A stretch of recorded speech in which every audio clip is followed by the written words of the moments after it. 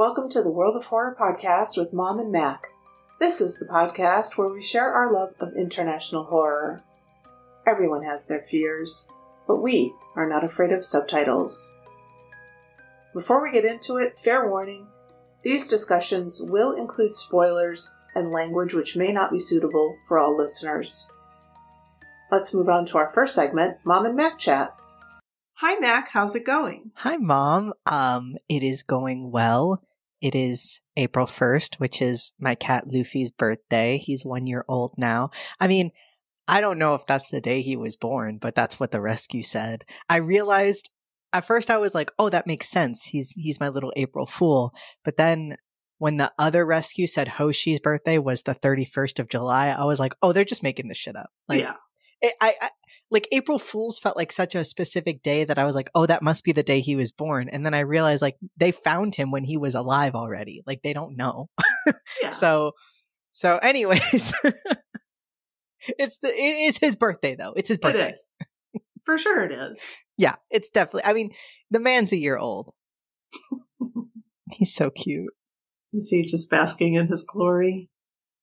He's snoring. He he kind of makes like noises when he breathes. Like you can always tell when he's really interested in something because you just hear like, mm, mm, mm. I asked the vet and they were like, well, he seems like he's fine. Sometimes I'm like, they don't know what the fuck they're talking about. No, Do you ever I feel like that? Yeah, I def like last time we were talking about doctors and how they don't know shit. Um, yeah, I think maybe no one knows Yeah, what they're talking about. I I agree because there are times.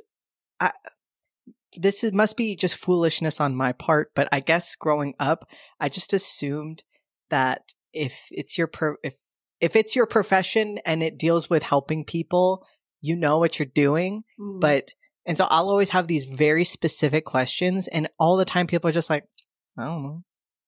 Well, why am I here if you don't know? Um, why? What are we doing right now? I mean, it's really troubling when it's somebody like in a mental health field or something like that. Like, oh, don't get me started. you know how how well I don't know if I told you the deets, but anyway, I was on this medication one time for sleep, and after a little while, I just had this fully formed thought one day that if i if I just stopped taking it and just keep getting the prescriptions filled, I could kill myself easily.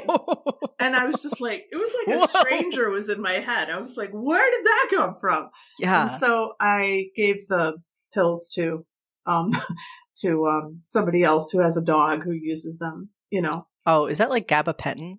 It's uh it was trazodone. Oh, But um anyway, dogs can take it and um so I went back to my shrink and I told her she goes that that doesn't really happen with that medicine. And I said, "Well, Dr. Google says it does, and it did with my fucking brain." So that's just disturbing when that kind of thing happens. how do they not know? Like And- how how do they not know? I know it's like in my chart, su- suicidal ideation. Like it's I mean- like fucking in there. You'd think if you even had just like a history of depression, they would be like, hmm, maybe let's like think about this for a second. That that reminds me. Well, I probably have already said told the story, but just when I went to my last endo, who was a man. Sorry, men, but all the male doctors I've had, male doctors, psychiatrists, and therapists have all been fucking horrible. I've had really bad women one, female ones too, but like I've also had good female ones. Never had a good male one. So I'm just saying. Um, but he just without even asking any of my history or anything, just gave me like Ativan. When I said that, I get anxious when I get my blood drawn, and not that Ativan's super dangerous, but I just was like, why wouldn't you ask first? Like you're just handing this shit out. And when I told my psychiatrist about it, she's like, "Well, thanks for telling me, but like, you know, that that'll go through me from now on." I was like, "Okay, okay, understood." Um, and I've just had a lot of times like that where I'm just like, "What are we doing here? What? There's no like rules or like SOPs in place. I don't know. I guess I- not. I maybe not. I mean, you and I are experts in our field.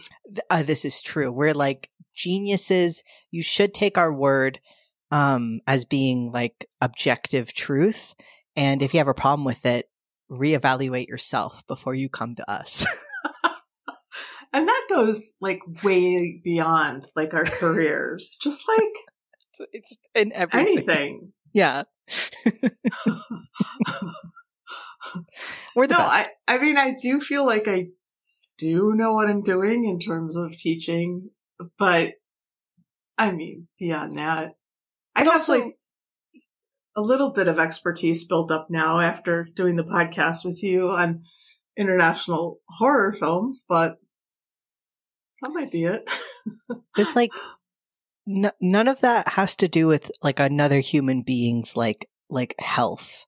You know? you, you don't know. You don't oh. know. I mean, now that we're reaching more wohos in Asia, Oh, I we had a download for somewhere in Africa the other That's day, cool. and I was just like, we are almost on every continent, that's awesome. Wait, what, who are Antarctica? at least once. Yeah, no, I don't, and I'm not. I'm not too worried about Antarctica, but um, There's got to be somebody there who's listening to podcasts. they, yeah, I I hope so. You would think. I mean, I would think the Huh. kind of work that people do there, Just get they bored. would want. They would want a podcast. Yeah. How are you? Oh, I'm pretty good. Good. Do you like the spring air? Fuck yeah. Fuck yes. I love it. I'm like, this is, this is the best it's gonna get. Like, It was It's all 81. downhill from here. well, it was like, I mean, and it wasn't, part of it wasn't great, but I mean, it was like 81 today for a high, which is a little high, but, and the pollen is like oh, I'm dying. off the charts. Yeah. But the sun is out. It's gorgeous. It seems like everyone's in a good mood. You Yeah. know, I'm going for more walks. Um, the end is in sight in terms of the semester. It's like, I think, um, May 9th is my absolute last day. That's like the That's coming up. graduation. Yeah. Oh my gosh. I mean, that's And- next month. And then I don't do anything for like three weeks. I don't have to teach again until like May 30th. But um I wish I could show you my calendar. I made a calendar for my ethics kids and it's basically like workday, debate, you know, presentations. like I'm lecturing on euthanasia like once and I'm going to help them review for a for a test, but other than that, they're doing it all and I'm going to try to do the same thing for my critical thinking class. And um, I should have been doing this all along, man. What have I, I been doing? Students learn better that way anyway. I mean, like, I know there's some things you obviously have to lecture on, but like the things that I remember the most are not the things I just was like sitting, you know, Right. Yeah. and absorbing. And then this summer, I think I'm just going to really try to have a real good think about things. I don't know if I told you, I got hired by another one of those corporate outfits. I think you did. Yeah. And Yeah. they pay really, really well. Nice. and um I've been um I'm like cleared to teach two classes. So I mean I'm like give both to me, baby. Um yeah. So I put um the the date 2027 popped into my head. I would like to not be working Mhm. um at the college by 2027. Yeah. So it's like it's good to have like a a date, you know, concrete Yeah. date. it just like popped into my head. It's not really based in any kind of reality, but you know, I just feel like if I can make a living teaching online, um, and nice. make like good money, I'm Yeah. gonna do that, and then I'm gonna do art the rest of the time. That sounds really Mm. lovely. Yeah. So, and I watched both these movies today, and um, yeah, I can't wait to hear your thoughts on on one of them, especially. I have a lot. okay.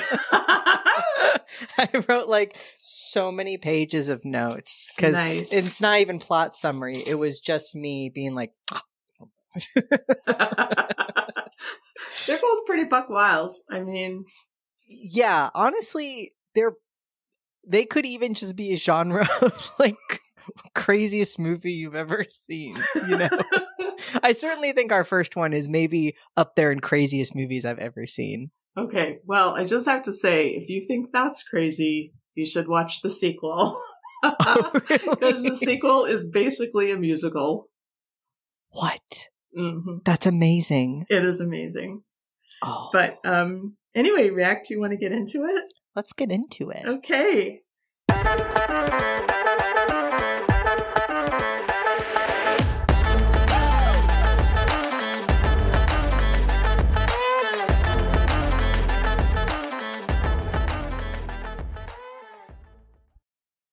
The Slumber Party Massacre, the synopsis from IMDb states, a female high school student slumber party turns into a bloodbath as a newly escaped psychotic serial killer wielding a power drill prowls her neighborhood. Directed by Amy Holden Jones, written by Rita Mae Brown, starring Michelle Michaels, Robert Steele, and Michael Villella. Cinematography by Stephen L. Posey. Edited by Wendy Greene Bricmont Sean, and Sean Foley. Music by Ralph Jones. The release dates are September 10th, 1982 in Los Angeles and November 12th, 1982 in New York City. It has a runtime of 76 minutes. How'd you feel about this runtime, Mac? Um, I gotta say, for such a short runtime, I Oh, really no. felt like I felt every minute. oh no! Maybe I just am not wasn't in the right headspace. Maybe I need to watch again. But I was like, twenty minutes left. Oh, Oh, you do need to watch this again. maybe it's like watching it by myself at my desk. I couldn't, you know, feel the full power of it. I think I think watching this at a slumber party would have been awesome. Oh yes, indeed. You know, I also think if you watch, I mean, the fourth time I've seen, you know, I saw it was better than the first time I saw it. Um, I I feel like that would be the case. Like, yeah, um, you know, when I was watching this, I thought, okay, it, um, it's a weird limbo feeling I have, which is I don't want to have a slumber party with anyone. I want to sleep in my my bed. Um, and anytime it's been offered to me in the past few years, like, do you want to stay over? I'm like, "N- I, I, no, I'll do whatever I can to get home tonight. But I do miss them. yes. like, It's, I feel like it's a bygone era for me now. Like, I don't want to do it, but I look back fondly on the memories of sleepovers. I'm with you. I I really do miss that time in my life. I mean, even if you know, sometimes I had a bad time, I just like it that you know, on Friday we were going to get get together at somebody's house and we're so going to eat a bunch of junk food and we were going to watch movies and talk about boys and just do all those things. Yeah. Okay. Actually, I think here's my theory. Actually, I feel like that's just adulthood now. So that's why I don't need to do it. Like it was a little slice of adulthood because when you're a kid, you're just like, I want to fucking get out of this goddamn house and stay Mm. with my friends, you know, and I don't want to think about school or anything. And I get to eat whatever I want, but I do that now. Like, I, I eat chips now. I don't have to hang out with a friend to do that. So I, maybe that's why it's a bygone era because it's the freedom of adulthood, kind of. Um, not that you're going anywhere, but it's you know it's and it's community, hanging out with your girlfriends. I got, I don't know what it was like for. I know cis cis boys growing up, they definitely have sleepovers, but I don't think this is sexist of me to say. I do feel like it's different for girls. Like I feel like young girl friendships are very special. I, I wish young boys got that same, felt that same freedom that that was encouraged for them because it's like we were talking about anything under the sun, like, Yes. you know, revealing our deepest secrets to each other. And when I ask a lot of my male friends if they had that experience, they're like, no, no, I did not. And I, I'm sure some boys did, but it doesn't seem as universal as Yeah. girls. I mean, I just, yeah, it's like sort of this protected, this protected space. It sounds really like hippy dippy or something, but it's just this kind of almost sacred space Yeah. to be with, you know, your girlfriends. And yeah, the parents aren't around and the boys aren't around, the teachers aren't around, and it's just the girls. And then you Yeah. can just sort of like compare notes and giggle and swear and I don't know, just do all the things that you don't do the rest of the time. Yeah. Okay, so here's the plot. Um, a paper boy delivers a paper with a headline announcing that mass murderer Russ Thorn has escaped. Trish wakes up and decides that since she has some pretty nice boobs now, she is going to throw away her childhood toys, except for a creepy clown doll. Why did she keep that one? It's a good question. I kept swiping at my screen because I thought it was dirty because the camera was so like, I don't know. And like, I, I kind of love it. Also, the mic so many times in different scenes is just getting blown out by like the actors, but it's very charming. Yeah. And then the boom mic shows up in Anatomy. Oh, I wrote down every time I saw it because I was losing my mind. I have never seen that in a movie before. um, the news about Russ Thorn comes on the radio, but Trish has to send her parents off on their trip. Neighbor says he will make sure the girls do not get get in any trouble. He's my favorite character. He's No. definitely gay, and um, I love his shirt. He's a creep. He's a creep. Yeah. You think Yeah, so? Yeah. Why is he always like hanging out in the shadows and shit and like sneaking into Trisha's house and like, That was a little bit weird, but I don't know. I liked him. oh, I thought he was like I, the. I mean, I knew he wasn't gay canonically, but I, in my head, I was like, I could see, you know, if if like. I don't know. I didn't think he was a creep. I, maybe I'm Oh, wow. projecting. I thought he was like a cute older guy. Mm. He has like a cute floor. I would wear that shirt. I didn't, I, that's interesting. Um, uh, yeah, different, different take. After Trish puts her toys in the garbage, a man's arm is seen taking the Barbie out of the bag. Two high school boys hit on a telephone repair woman who is yoinked into her van by the killer. She bangs on the back windows for help, but is drilled to death. How did they not hear her? How did they not hear that? I don't know. That was the scariest thing I've ever seen. She just gets like, yoinked is the best word for it because it is kind of comedic. This hand just coming out of nowhere and just pulling her, and she's like, ah! and then you know it shuts. Also, one of the most unre- like she looks like Rosie the Riveter. And her Mhm. reaction to these young boys hitting on her is just like, oh, maybe. I don't know. You know, like nobody talks like this. I know, but I do love, I really do love this movie. And I, I like it that she doesn't, if, if a guy had written the movie, then she would have flirted back with them. you Yeah, she just kind of like is ambivalent, you Yeah. know? And sometimes you gotta be that way. Yeah. And you have slobbering teenagers all around you. Not that any I mean like the the students are like indistinguishable from the teachers. Yeah. like especially Very- that female teacher that they focus on. I'm like, she could be one of them. Very a la Carrie. yeah. like, for sure.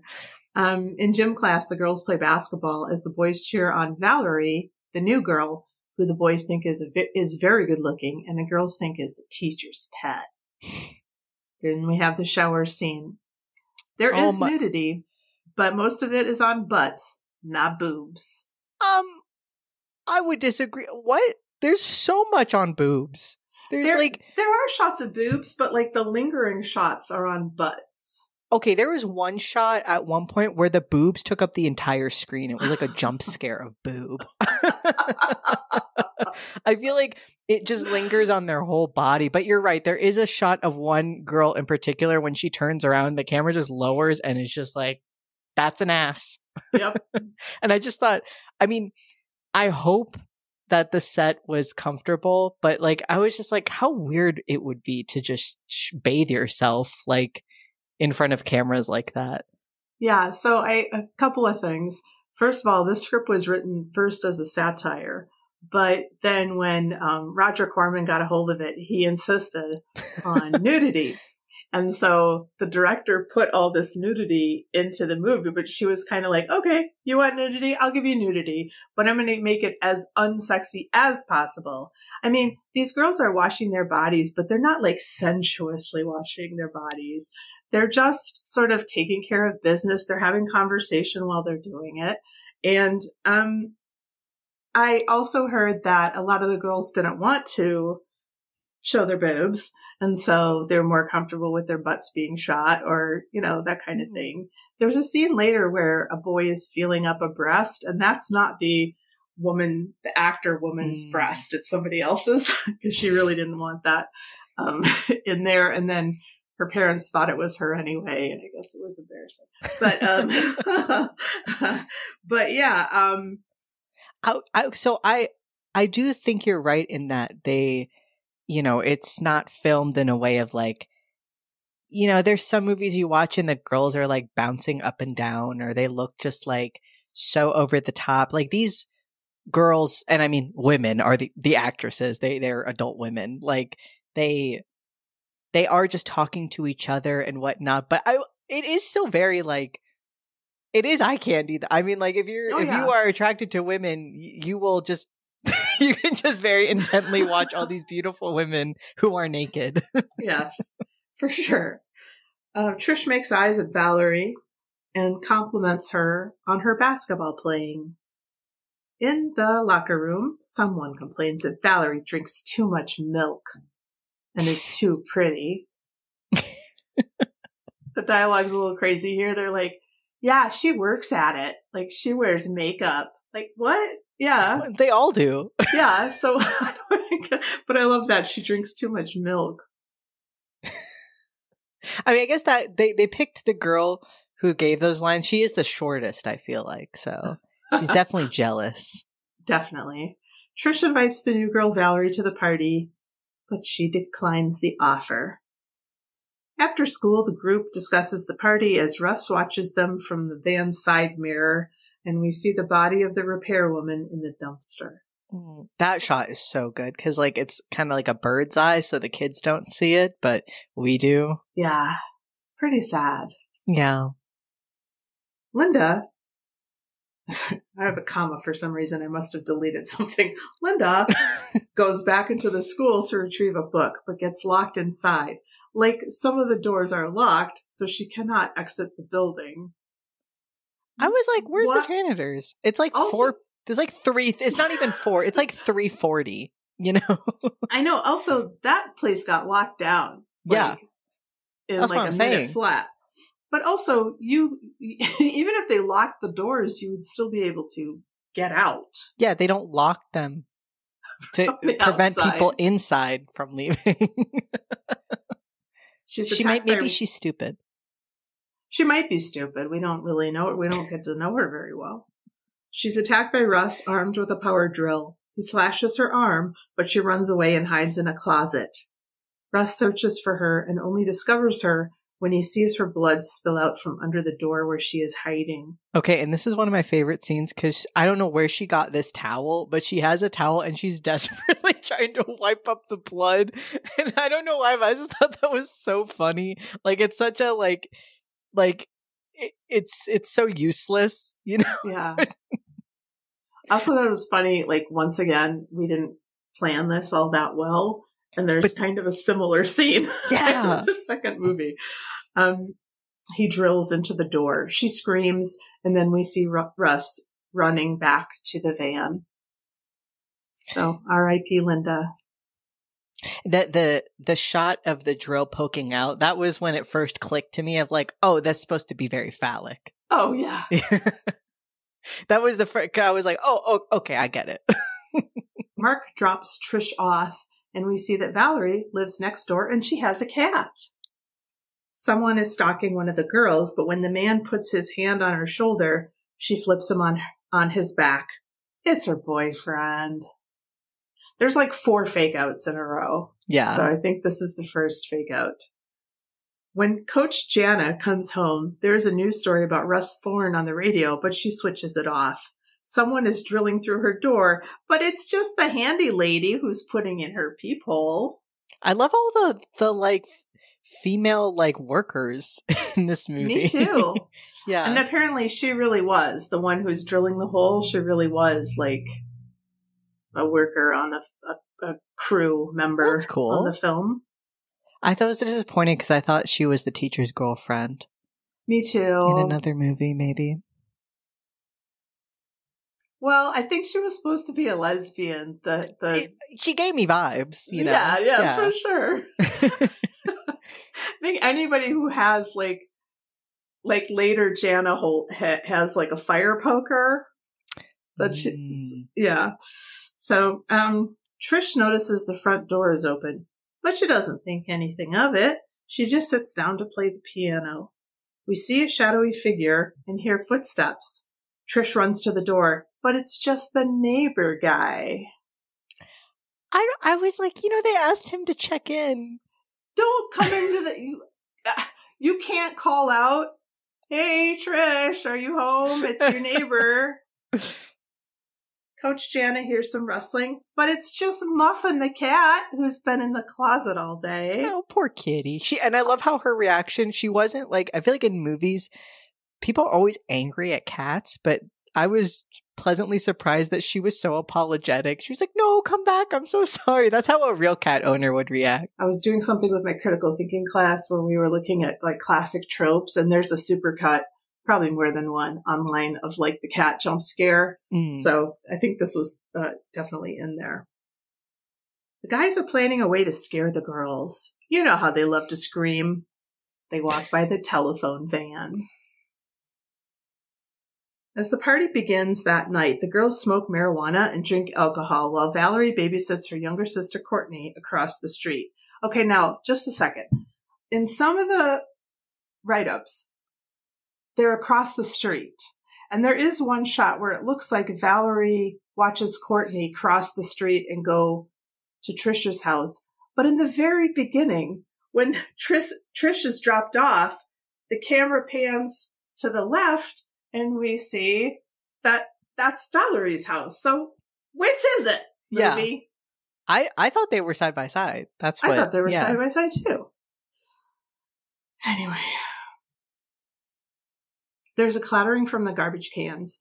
Valerie, they've got to be because when that guy crawls Mhm. from Valerie's house to Trisha's house, there's no way he crawled all the way across the street. And Okay. she even says she heard something. I really feel like it'd be hard to hear somebody screaming in a house across the street from you. Mhm.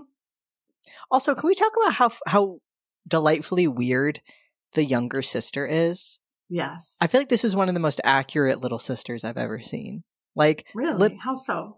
I mean this in the way of like, I feel like too often movies written by men or women written by men or girls written by men are very like perfect.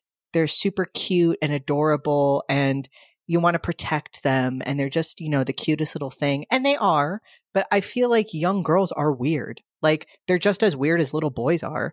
And um uh, for instance, the the one kid I have in my life is uh our friend that we watch Survivor with, his youngest daughter, she is so weird and I mean that in the best way. Like out of nowhere she'll just say like off the wall shit and it makes me so happy. Like I I don't know, I just feel like and that this young sister is so weird. like she's such a weirdo. It is refreshing. You're right. Yeah, we don't often boys are allowed to be weird. Um yeah. I mean, unless they have a clinical diagnosis, you really don't see that many weird girls. Yeah. And they usually and like in real life, girls are usually weird. Yeah. In my experience. As I a former kids- as a former are- weird girl. I think kids are weird. I mean, kids used to scare the shit out of me. They just I mean, I used to say weird stuff, didn't I? Oh, you said the weirdest stuff. Your dad would be like, uh, talk about your like grim fairy tales, very grim fairy tales, because you would just come up with this like weird shit like from the back seat of the car. We'd be like, what?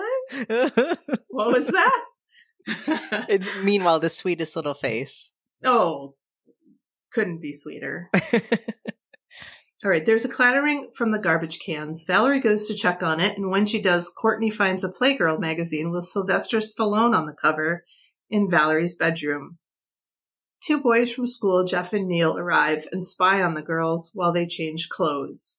Like you do, right? I mean, everybody just like changes in front of each. Even when I was a girl, I mean, we would take turns going in the bathroom. We didn't like change in front of each other. Right? Like, and if you did, you'd all be facing away. At least, okay, Yeah. I will say I do have one friend. I won't name her um because we're still friends and I love this friend, but she has never had an issue being naked in front of me and Mm. used to answer the door in like a thong and I would be like uh, like I'm just not used to that, so I would be embarrassed and be like, "Oh, come on in! I'm just, you know, putting my clothes on." And I'm like, "Well, where do I look? I don't, I don't know."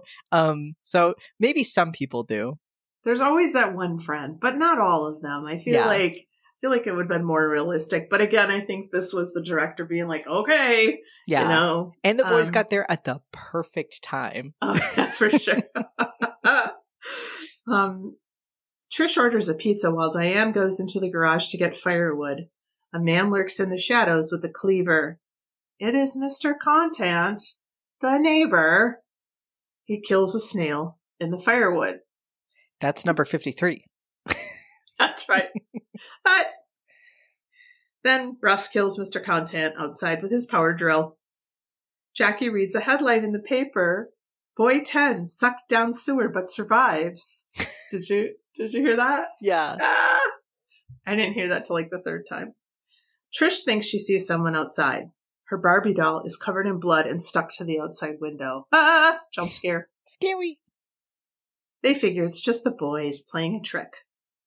Trish and Diane check on the garage door, and we see that Russ has gotten inside. Valerie looks out the window. A la House of the Devil. Did you see that shot? No, I don't remember. You've got to go back. It's brilliant. It's shot. it. That's gotta be gotta be where that came from. It's just like a square shot. She opens the curtains. She's right smack in the middle of the frame. Hmm. Beautiful. The lights go out in the house. They go to check on the fuse in the garage while Diane talks on the phone with her boyfriend. All four girl then I mean then she joins them and all four girls go into the garage, which I really liked.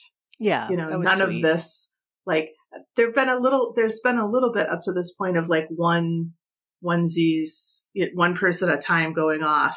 But I liked it that they all four are going into the garage. That seems a lot more real to me. And I love, I don't know, just their energy is so cute. Like at one point, you know, um, Trish is just like, well, the fuse box, it's in the garage. And they all just look at each other and they're like, eek. I just Yeah. thought that was so cute. um, none of the fuses are blown, but some are missing. Jeff and Neil startle the girls, but but then one of the girls knocks Jeff down. Valerie hears clattering outside again and goes to check on the garbage cans again. And then Courtney attacks Valerie outside. That imp. She is an imp. Diane meets her boyfriend outside. This guy is real funny looking, didn't you think? I think all the men in this film are funny looking. They kind of are. the girls are such They're so hot. creatures. Yeah. Yeah. These guys are just None of them deserve any of them. not lo- not looks wise. Or even Valerie? attitude wise, honestly. Like, none Well, of them are yeah, gentlemen. They're per they're perverted. I, they do kind of redeem themselves a little bit, I think. Yeah. Valerie plays with Courtney's hair, and Courtney wonders if she'll ever be beautiful. Cut to Diane and boyfriend making out in the car. Neil and Jeff are now in the house and are perving on the girls right in front of them. Diane's BF wants her to come to his place so they can go fuck, and Diane goes to ask Trish if it's okay if she goes over to his house. Valerie is looking for something to put on Jeff's black eye, and not finding a steak, she chooses two hot dogs. I thought that was really cute. Diane goes to her boyfriend's car to find him decapitated, Ah! and then she is murdered. I was sad As about that one. Me too. It's re- apparently it's re- uh, for both of these films. They've they've made the statement that it's very easy and fast to decapitate someone. I feel like it cannot be that easy. Especially in the second one, it happens in seconds. Like, Like- you don't even see it happen. No. While on the phone with their coach, Rachel Jana, the girls answer the door and find the pizza delivery man with his eyes drilled out. Trish calls 911, but Russ cuts the telephone line. Coach Jana calls Valerie and asks her if she'll go check on Trish, but Valerie doesn't want to. Man, I wouldn't want to either. The teens arm themselves with knives as Jeff and Neil run for help. But Jeff is killed in the garage, and Neil is attacked outside Valerie's door. She doesn't hear him because she's watching a horror film. I do like that. Like the the juxtaposition of like the screams in the movie. The girls are sitting together, but Jackie says she's hungry. So she eats a slice of pizza. Maybe one of my favorite scenes. She says something like, you know, I, I'll feel better if I eat. And I don't know. The other girls are just like, oh my god. And she like she puts the box on the dead man. Yes. She's like, well, might as well. Neil has crawled back to Trisha's and is crying. He's attacked by Russ outside the door, and his blood spills inside. Very sad. Very sad. And the girls, like, some of them want to open the door. Maybe it's Neil, and then other ones don't want to open it, and then Neil gets killed. Valerie knocks on the front door. Jackie goes to open the door, but when she does, Russ kills her. Trish and Kim barricade themselves in Trish's bedroom, but Russ enters through a window and kills Kim as Trish flees. And at this point, I'm like, Trish, you're kind of Kind of bad, bad person. Yeah. She's already also like right before this, she suggested that maybe Valerie and the killer are in cahoots. Yeah. Like What? why? Where did where did that come from?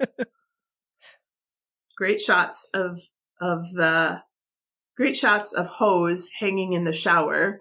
Russ like pulls back the curtain and there's just like underwear and hose like hanging in the shower. I love that. And then also Trish is hiding in a garment bag. Mm, I love that. That was very That was cool. great. Valerie and Courtney enter the house and find Kim dead in the fridge.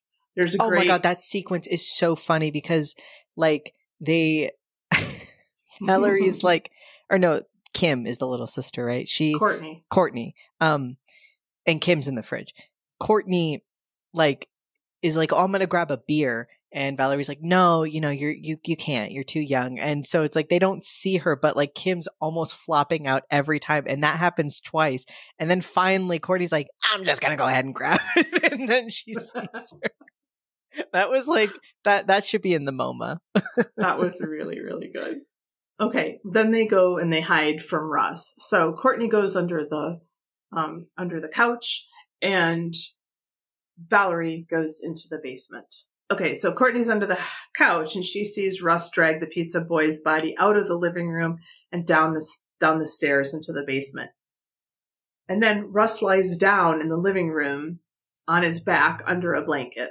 Oh, you know, that's very um that reminds me of the first Saw movie because that's the big reveal is that the guy the, the dead in the guy laying in the middle of the room has been Saw the Saw Ah. man. I forget his name the whole time. I'm just Yeah, gonna pretend like all of these movies took it from this movie. I think so. yeah. I mean, I would, I would lay money on House of the Devil. Yeah. I mean if it was that similar. I'm gonna try to find them and put them side by side, and you'll see. I believe you. It's very important. All right. Coach Jana, having grown concerned over the phone call earlier, arrives and is confronted by Russ. Courtney trips Russ and Trish stabs him, but Russ disembowels Jana with the drill.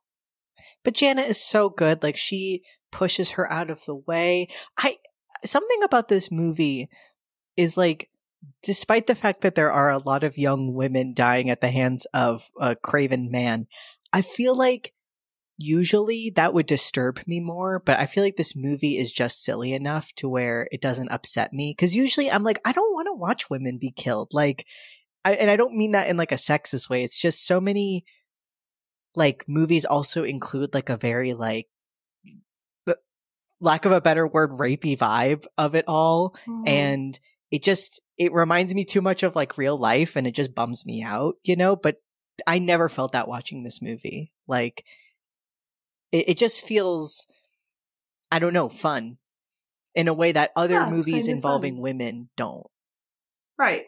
Well, I think he's so unlikely as a killer. You know, he's short. He's kind of got a rat face. He's You got a great fit denim on denim But he's got this huge drill and it's like, okay. yeah Um, but he's not he's not scary all by himself. He's only scary because he's got this drill, yeah you know. he's just in Um, the right like he's good at scaring people but he's not unbeatable No, and if you saw him on the street, you wouldn't be scared. You'd be, you know, you wouldn't think anything about him. Um, and then the women, to me, like I don't know how tall the actress is who plays Valerie, but she seems very tall. yeah they all seem very tall She's very like when she just moves herself with like a lot of grace and strength, and I don't know. Russ tells Trish that she's pretty and that he loves her. He says it takes a lot of love for a person to do this. And you know you want it. You love it. She's just like, what? i've never seen you in my life I don't know you. I didn't hurt you. Like, what are you doing here? Valerie chases Russ with a machete, cutting off the tip of his drill bit and then severing his hand before slicing his stomach open. And to me, that stomach slice, that to me, the first thing I thought of was like slaying a dragon. I don't know Mm. why. Just like, you know what I mean? Like, but anyway, she's immobilized him. He falls into the pool and sinks beneath the water, only to emerge moments later and attack them once more. But Valerie finally kills him with the machete as she is like holding it up in front of her Oh, body yeah. and he dives onto the machete. Yeah, they all have very phallic. She's got Yeah. and her machete is huge. That was my Yes. thought too. Is like she that's the biggest fucking. I, I was like, where did she get this? Is the biggest thing I've ever seen. I know, because like everything else in the basement, she's like a little tack hammer. No, you know, and she's like grabbing all these tools.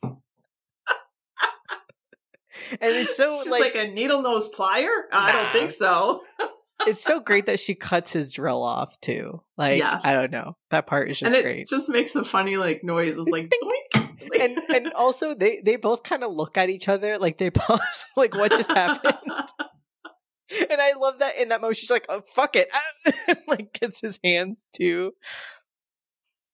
Valerie and Trish break down in tears as Courtney looks on in shock. Sirens are heard in the distance. i think valerie and trish should date. They have been giving each other energy Mhm. the whole movie.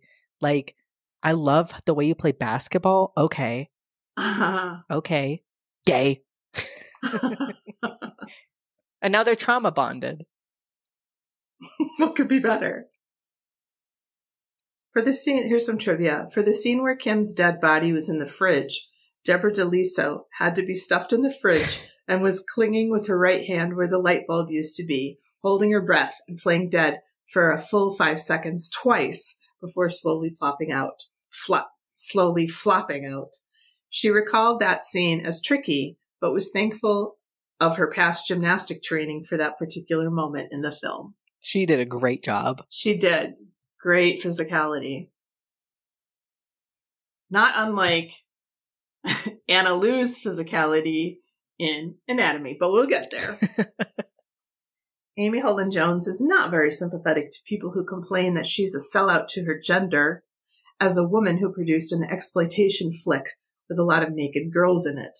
That's what Rod- Roger Corman, the producer, wanted, and that's how it's done. You give the studio what they want. Nobody complains that Scorsese, Jonathan Demme, and Ron Howard made exploitation pictures, but when a woman tries, she gets called a hypocrite and a turncoat. That's BS. It should be noted that Holden Jones has parlayed this into a successful film career, producing such hits as Mystic Pizza and The Getaway. I am with her. I agree. And I do feel like women and like any sort of minority group is held to such a higher standard under such a bigger microscope than white men. Like a white man could do something and everybody's like, well, yeah, of course. But then you do the same thing and it's like, oh, how anti feminist of you. Like, what about that guy? and also, you know, I, I don't know. I feel it's clearly silly. Like it's if you just take this at as at face value of like, well, they just want to put a bunch of naked girls in this movie. It's like I don't. I feel like she did it in a way that feels really silly. Mhm. It- yeah, I agree. Yeah, it's clear. It to me, it's clear that they weren't trying to like make some big statement or anything. It's just a very is- fun, silly movie. This is way before Scream. This is 82. Scream came out in 96. Wow. So, I mean, it took, you know, people were not like playing with this genre Mhm. at the time, except she, she did, yeah, you know, so I just think that's amazing. The overhead shots in the gym before Linda's attack were achieved by having a cameraman on top of a cherry picker because the film had a low budget and the crew couldn't afford a camera crane. that's incredible. On the day of her death scene, Brinke Stevens' left arm was covered in sticky, sweet, blood red Karo syrup resembling blood.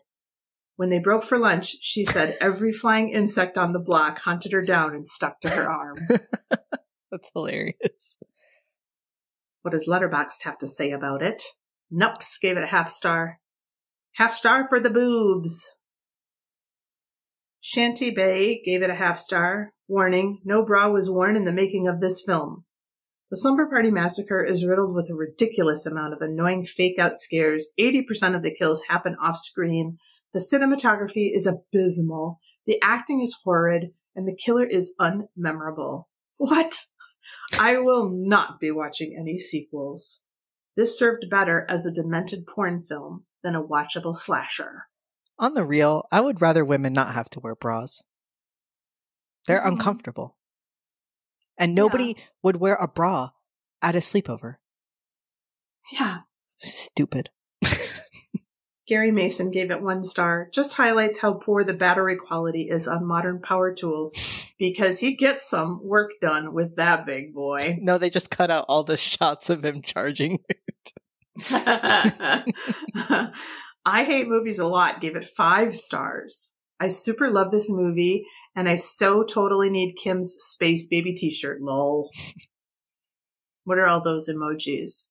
There's the heart hearts all on the face emoji. What do you, which what do you call that one? It's like, It's like in love. yeah, he's like lovey, lovey dovey. Love, lovey dovey emoji, basketball emoji, um, planet emoji, pizza emoji. Slav Goblin gave it five stars. Finally, a horror film about real life horror. No masked identity, no backstory. Literally, just some guy who starts killing for no reason. The pizza guy scene kills me every time. Kim in the fridge is so unserious but iconic. Just overall brilliant. I agree, Slab Goblin. and Telcott gave it five stars. Jackie is the true hero of the movie for not letting the pizza go to waste. Missed opportunity never to have the killer say, This does not augur well for you. All right, how would we rate it? Hmm. Well, drills. Obviously. I'll give it three and a slashed drill, but with the caveat that this is just for my first watch, and I think under better conditions, I could see this rating going up. hmm But I, I would not recommend sitting alone at your desk watching this.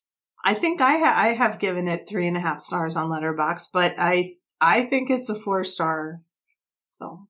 For drill, you mean? For dr- uh sorry, for drills. Would we watch it again? Yes. Yes. Favorite scene or kill? Kim, Kim in the fridge is. I, That's I mean, pretty great. that that was amazing. I couldn't That's believe they did it twice and then went back in for a third time.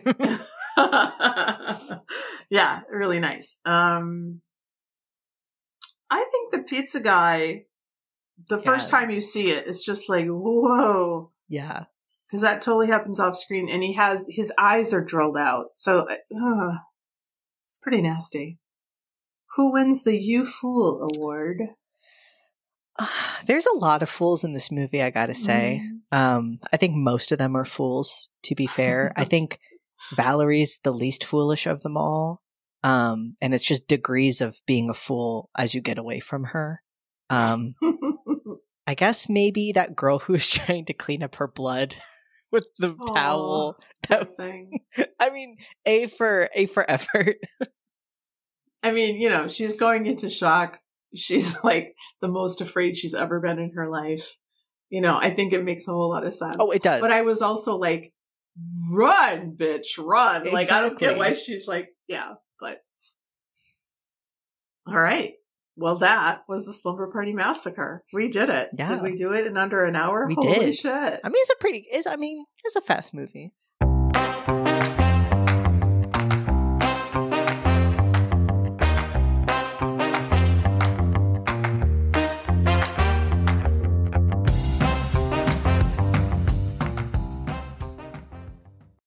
Our next film is called Anatomy, and it is also Anatomy in German, but you should know that in German it's spelled A N A T O M I E. Different. Here's a brief plot summary from IMDb. A cute med student starts a summer course at Heidelberg University. David's on her dissection table. She met him the day before on the train. Something's wrong. Um, quick, quick preface here. Um, I this movie was entertaining, but I think I hate it. Okay. And I actually think this pairs amazingly with the first movie It really does. because this one, I can't, um, like, I can't believe that there was a single woman on the planning of this movie. You can't tell me that there was a woman who touched the script of this film, and it shows. it like it feels like a guy's attempt at writing about and trying desperately to maybe say something, but just ends up saying like nothing. I don't know. It it says a lot. I don't. I man, this was weird. It was directed by directed and written by Steven Ruzowitzky. It stars Franka Potente, Benno Fürmann, Anna Loos, Holger Speckhahn, Sebastian Blomberg, and Traugott Buhre. Cinematography by Peter Von Haller, edited by Ueli Christen, and music by Marius Ruhland. It was released September 8th, 2000 in the US with a runtime of 103 minutes. This movie feels so steeped in the 2000s. Oh, yeah. And I feel like there was this like and not that movies don't have misogynistic themes now, but or I, I say the misogynistic as in they're not trying to say anything about it. They just are. But there was just a very special vibe of the 2000s that I feel like was demented and horrible. And this movie brought Yeah. me right back. Oh, yeah. I, yeah, there's some stuff that's just like, yep, this is just the world we live in. Yeah. Yay. um, over the opening credits, the camera glides over a body. A hand traces and caresses it until we see the hand cut open the abdomen. The professor tells the student he must use gloves. Because I guess there's a guy with his just hands touching some parts. Mm. Man, this movie made me afraid of doctors. I was like, they all Oh. seem stupid. I know they have to learn from somewhere, but it's like, Jesus, you had to get into this school, didn't you? Paula is introduced finding an anomaly in her cadaver. Paula is like, you know, she, I think she's very beautiful. She has a kind of handsome face. Like she has a really strong jaw, really short hair. She is very cute, but they're obviously trying to make her like, well, there's a contrast with a girl in the future that's like, oh, she's hot. You know, Paula's cute, but this girl's hot. And we just open with some great 2000s transphobia with Paula saying she found an anomaly in the cadaver, a female cadaver, and the teacher goes, Oh, an anomaly? What? Did you find a penis? Ha ha. And he just starts like negging her, like just belit like I guess just don't even open up your mouth if you're a woman. Cause even though she's not doing anything wrong, he just, I don't know, is an asshole. She holds it fascinated and then accidentally drops it on the floor to the delight of her classmates. Her professor is really hands on, if you know what I mean. Yeah, he's very touchy feely, like touching her shoulders. And she kind of like puts a very subtle boundary up, but it's very subtle. She kind of accepts it a little bit um, because, like you said, it is the 2000s. Paula Henning wins a place in a summer course at the University of Heidelberg, where her grandfather had been a renowned professor. She has the second highest score in the country. We see her visit her grandpa in the hospital. He's like older than father time. She asks if he's in a lot of pain, and he says, I've been dead since Christmas. It's just that no one has noticed. That made me laugh. And, you know, but he tells her, you know, I'm so proud of you. You're going to do great. Good job. And then as she leaves, he's like, Can you uh, do me a favor and pull the plug on the way out? And like laughs like it's the funniest thing anyone's ever said. And she's like, Oh, grandpa. um, she gets home to her dad and her mom. Her dad runs like a private practice. Also, w- with an examination room with the most windows I've ever seen. I would feel so awkward if I was in that examination room. I thought it was a greenhouse at first. It looks like these it. Patients come in. I'm like, what? There's no way that I don't know what they do at private practices, but I've never seen that. you how could you see anything? It's all natural lighting. Um but Paula is kind of rude to her mom and dad. Um she basically tells her dad that she doesn't want to end up in some third-rate clinic like the one he runs or pregnant and ruining her career like her mom. Just a total asshole. And we understand that the dad is not close with the grandpa, but we don't really know why. Paula just thinks it's because her dad's jealous or something because he's a loser. I don't know. It's like running a private practice is pretty good, right? Mhm. I've oh, I that's- agree. it's very the the levels I guess of doctor respect are like I, I don't know. I just was like, there's no way that this man's a failure. um, but her mom gives her a big hug and is like, "You're gonna do great at Heidelberg." We next see a man who wakes up on an operating table, groggy, and I do love this scene because this is it's good. It's like Mm. I'm sure this is their idea, and then they were just wrote the movie around this scene yes, because the way and the actor on this table is so good because he's like you know when you wake up and your mouth is really dry he is just selling that so perfectly and we just see like just you know light pouring down just the shot is of his face and he's so confused and he looks over and he sees that there's you know surgeons working on him and one says oh he's awake and um a doctor he he announces specimens awake the man looks over at a table where intestines are deposited. So the doctors are just going to work and discussing new student Paula. Interesting. So this must be Heidelberg. And the man on the table sees that his abdomen is being held open by various clamps, like to like horror. But he, I don't, I can't tell if he can feel anything. He kind of acts like it later. Maybe it, maybe, but he's definitely like he can't move except for his neck, I guess. And then he sees that there's like a beautiful, like prosthetic. I don't even know how they made this, but it's, it's his hand and most of the skin has been cut away. And, but I don't, it, it looks like a little diagram. It's really cool. But obviously, That's if that really was your hand, you'd be like mortified.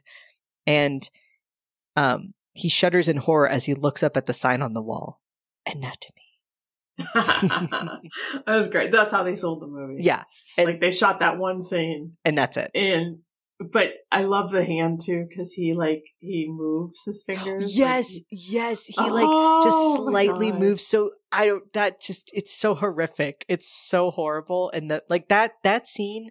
This movie might be not very good. Um, but that scene is ten out of ten. Like Mhm. that is the we're honestly worth the price of admission. Um, and there's some other good ones too, but I don't know.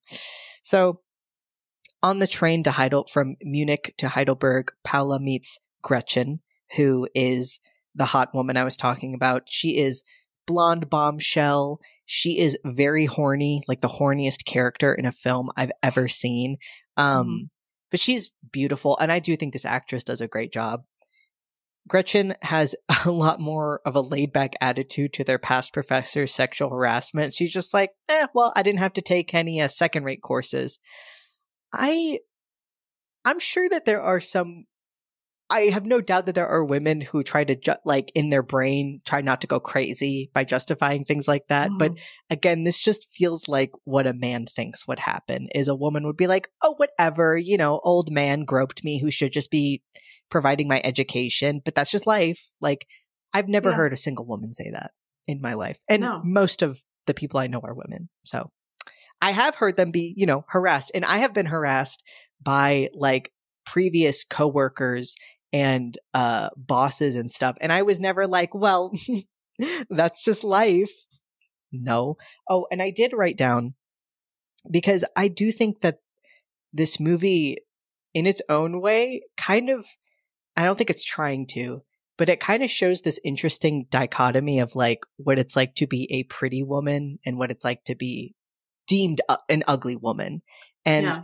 i found that very cool and interesting and just to give my insights as someone who I still get viewed as a woman a lot, but I'm definitely like, like when I say this, I do think I, I'm not saying I'm unattractive, but if you were just going by the terms of like how women are supposed to be attractive, I have like nixed all of my, th- like, I don't mm-hmm. have boobs. I now have facial hair. I've got short hair, you know, it's like, and so I gave like a pros and cons list of okay. life now as that. It, where I used to be a very young, attractive woman. Um, pros: no more catcalling, no male coworkers or bosses hitting on me. That's great, and no, just like, just basically like, way. I have not really been harassed in public like I was. Mm-hmm. Cons: people are not as nice. I will say, uh-huh. like yep. going to the store at first I thought there was something wrong with me because people used to be so nice. Like men and women would just be like complimenting or just being nicer. Whereas now I think I just get the treatment like any, you know, like a non young pretty girl gets. And just people don't seem as interested in talking to me if they're not like trying to be my friend.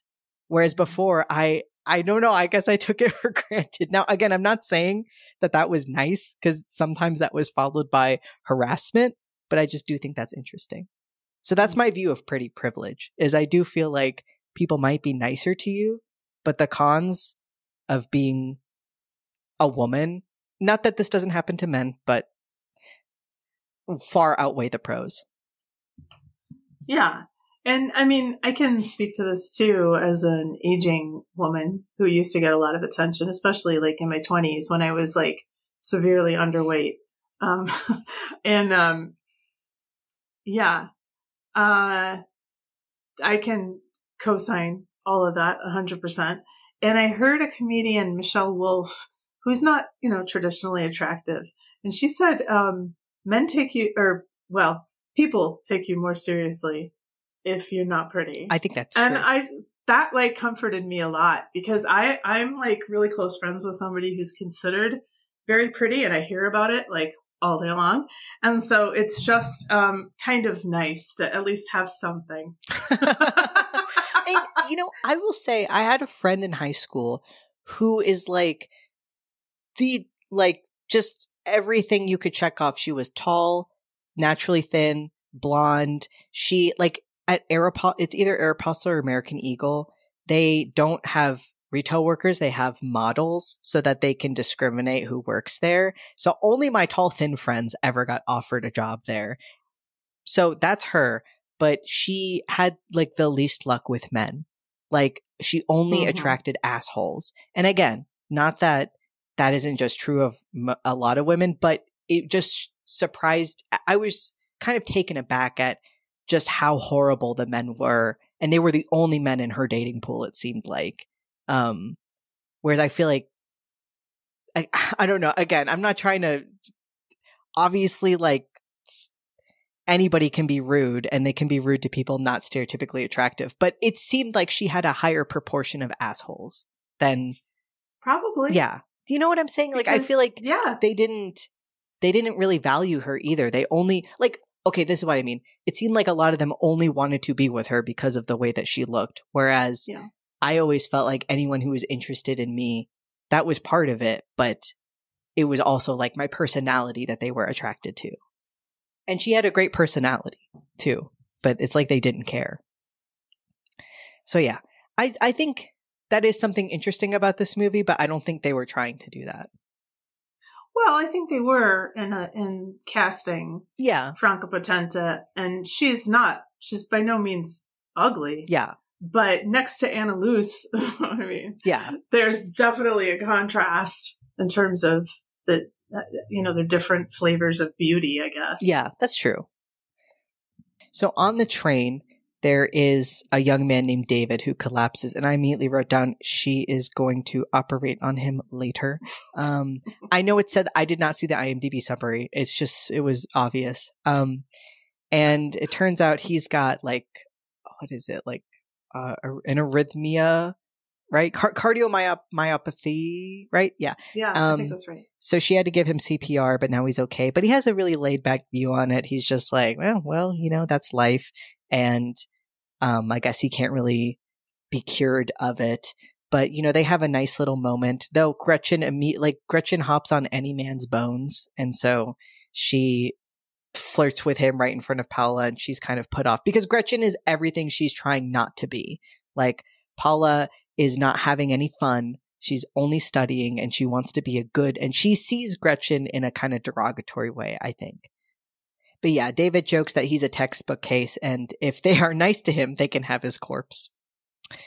J- Gretchen jokes that first they have to see that the rest of him is in good working order. Wink, wink. And David says that he's meeting someone tonight in a bar who thinks that they can help him. Now, why? Dude, why you? What doctor would be like, well, meet me in a bar first? Mm-hmm. Stupid. so Gretchen and Paula check in at the Heidelberg and they're led to their room by Phil, as in fill her up, which is, I guess, his nickname. I don't know. All the guys here are horrible. They're really bad. Also, and I do want to say this, I don't think it's like labeled as a horror comedy, but it's, I think it's supposed to be funny. And, you know, like often, like I, I used to watch a lot more like Korean cinema and like, I don't get it. Like, I don't get the humor. yeah. Um, I mean, I get, I get it in like Bong Joon-ho movies, but like a straight comedy, I do not find funny. Mm. And this one was not funny. I never laughed once Oh, at any of the jokes. It was just like, ew, just like a real cringe. yeah. Um, so They're eye roll moments for sure. Like For sure. nothing ever. I don't think anything made me laugh. I again, I was invested the whole time. Like my attention was grabbed, but uh, it was kind of in like a what? What sick thing am I watching in front of me? I don't know. And also, again, like we mentioned earlier, the boom mic is just so fucking distracting. I've never. I'm sure there's been a moment of seeing a boom mic in a film before, but never this fucking much. I was like, Jesus Mm. Christ, who did, was this? This guy's first day on the job? Um, I literally wrote down that damn mic is in so many shots. So Gretchen thinks that Phil's funny, but Paula doesn't get it um because she's missed no fun. Um, but also it wasn't funny. Gretchen and Paula walk to their to the new anatomy lab with this, yeah, kind of like a music video. The the music in this movie is great. they meet Gabby along the way, and I just want to mention Gabby is like, ag- again, I'm not trying. I'm not shallow. It's just I think this movie is trying to say something with this. yeah. Gabby is just looks like a normal human being that you'd see on. Like she does not look like these movie actresses. So it's like Yeah. Paula next to Gretchen. You think Gretchen's like, oh wow, she's the pretty one, and then Gabby next to these two is another layer. You know, Mhm. I found that interesting. Um, though Gabby's very cute. I like again. I'm not saying this like this ugly bitch was in this shot, but like we all know what I mean, right? she's wearing frumpy she's clothes as, she's too. not as cool. Yeah. Yeah. She's definitely not as cool as they are. Yeah, she looks like somebody you would see in a library, you know? She's just a big nerd. Yeah, which is what I want my doctor to be, to be fair. so Paula's impressed by the lab, which she calls spacey. It's actually giant and dark and creepy. Gabby thinks she sees one of the bodies move, and Gretchen and Paula are kind of like, hmm, okay, I mean, you're just scared. Gretchen pulls back the plastic sheet to see that the body has no head.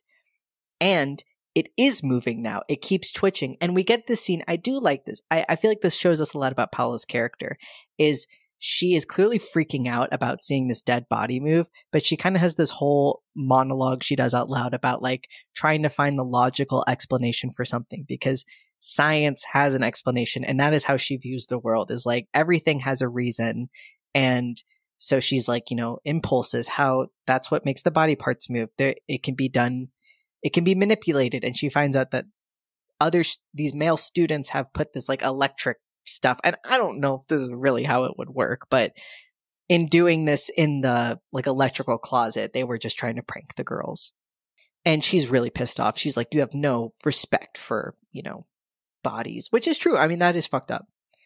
When um later they're at the bar, and again, there's a shot of like a barmaid lady, and like I, that felt intentional to me too. I don't know. Um, it, it, I don't. It just it felt like there are a lot of women in this. I, it's interesting because compare this to Slumber Party Massacre. There are a lot of women who look like real women in this mm-hmm. movie, but this is by no means a feminist movie. Just something oh, interesting. No. yeah. um, so at the bar later, the students talk about who they studied under. There's one student, Casper, who says that he studied under his uncle, who was a butcher. He says meat is meat, but uh, and like laughs for so long as the camera just pans around this table of like a bajillion students just looking at him. Like, damn, bro, he got the whole squad laughing. Like they're just not enjoying it. Um, this guy gives me a real Jason Dean vibe from Heathers. You know, he's kind of who's Jason Dean? JD, the the oh Christian Slater. Like he's not as. I just feel like that's the vibe when people. Okay, Side note, Gretchen refers to him as tall, dark, and handsome. And I guess when I was younger and I heard that, I never thought it would just be like an average looking white man that they mean. like, what do you mean tall, dark, and handsome? He has dark hair. do you know who Ricardo Montalban is? I don't think so. Okay, he was a he was a movie and a TV star when I was growing up, mm-hmm. and he's like, anyway, he's a Latinx guy, but he is tall, dark, and handsome. Or he was. Yeah. At the time. And yeah, that's what I always thought. I was just like not like the most milk toast white man you've ever seen in your life who happens to be a brunette. and doesn't like Casper have like weird facial hair? He's got One a soul patch. Does. And okay, yeah, yeah, he would look one million times better if he shaved that shit off. I literally wrote down not the soul patch. so Gretchen then flirts with Hein, who eh, he that's the blonde guy, right? That's the, the guy. The, the, himbo. Yeah, the himbo. And he does kind of have like a Ryan Gosling Ken look to him. I enjoyed him. I actually think this guy's very charismatic. I think yeah, he's I liked him a lot. Yeah, he did a great job. We also find out that this is the titular bar that David was going to. He decides to go to the restroom and is attacked, subdued, and dragged off. The server sees this happen and is like, he just passed out from being drunk. Okay, well, who's the guy's dragging? Is that your bouncer? what are you saying? That guy's just drunk. Like, I feel like a better thing would be if she somehow noticed that he wasn't there anymore or noticed a spot of blood and but was just like mm, whatever but to be like oh he's just drunk so now some cronies are taking him away that makes no because also we can see that the person's wearing scrubs and gloves right oh that's just the crew of surgeons that are here that always take away the drunk that must be what she's thinking the bouncers at my bar who are all wearing scrubs. Every Sunday they grab a new guy. well, of course, as we all guessed it, David wakes up on the operating table. Who would have who would have thunk? And he's not totally paralyzed, so he goes to grab a knife from the table next to him. One of the doctors goes to inject him in the neck. He slices the doctor across the chest. But they end up killing David and stabbing him, and now they state, I can't use him anymore there is a great shot that because like David, he's naked and then he just kind of falls once they've killed him and the camera just kind of like pans out from this as the doctors and their scrubs Yeah. are just like mm, that sucks and he's just naked on the ground i just feel like Yeah. I don't know that's always how i feel like at the doctor just naked and humiliated just And he's got a tramp stamp. yeah he does have a tramp s- oh my thing was okay and i don't know why they do this but every time i've gotten surgery they ha- they make you take out all of your piercings and i noticed that he still had his eyebrow piercings in and i know this is this Mm. is obviously not a- above board but i'm like that would have been a good detail as if they had taken his piercings out to be like Uh-huh. he's truly well and truly like a specimen now. Because why would you keep them in? You took his clothes That's off. good- i don't know. I just felt like that stood out to me. Mm. as somebody who has piercings who has to take them out. That was weird. I was gonna say also i find scalpels to be one of the scariest things because a tiny cut to me is way scarier than a bigger cut. Ugh, ugh, creeps me out so the students um, the next day are taken to a display of plasticized bodies and it is very beautiful like they are all in these different poses there's all these different views. You and i went to see the bodies exhibit once and yeah it reminded me of that. It which i mean it is amazing when you see it and you're just like this is a body. Like if i was a surgeon like they're acting like they're kids in a candy store and i felt like that was that was a good vibe. And we notice that one of the models is the guy with the hand except we don't see his face because it's been totally like dissected too Mhm. but we you can recognize the hand. And these models are just amazing. They did a great job. They look oh they look creepy but good like high quality. So then we have a little montage of paula working and studying during one of her classes on anatomy the body of david turns up on her dissection table and she and Gretchen have to have a smoke in the bathroom because it's so distressing. I mean, that would be really scary. Paula's instructor, Professor Grombek, humiliates her by daring her to dissect the heart. Which, like, wouldn't that just be a huge thing that you'd never make somebody do? Like, the people, this movie, Mhm. like, makes Germany seem like a hellhole where everyone's mean to you. Um, well, I mean, given what we find out later, it makes sense for his character. But I think realistically, if you were in med school and you're like, oh my God, I know this guy. yeah, they would Um, never. They would never. like that would be my first alarm bell is that my that i'm not being taken seriously in this moment paula finds that david's body bears strange incisions and that he has an almost gummy or rubber like blood. She decides to investigate the mysterious circumstances surrounding his death. Casper stocks, stops by to ask her out because they've been making eyes at each other. And again i'm not even tr- he's an obvious red herring like just when you see Yeah. this guy, you're like, this guy, they wrote red herring on this guy's forehead and just put him in front of us. I know he's not the guy. Quit trying to make me think that he is. you're not a good enough movie for that. Um, and this test is not something that her professor wants her to do, but she's just, I don't really understand the medical part of it all, but she's just basically saying that there's no, there's no reason for his blood to be like this. And she finds, she feels an almost like she's guilty because he's died, even though she just saved him, even though, I mean, I'm like, girl, you can't save everyone. So she begins to, pres- she proceeds to cut a sample for an independent test, and she's intrigued to find a triple A mark near David's ankle.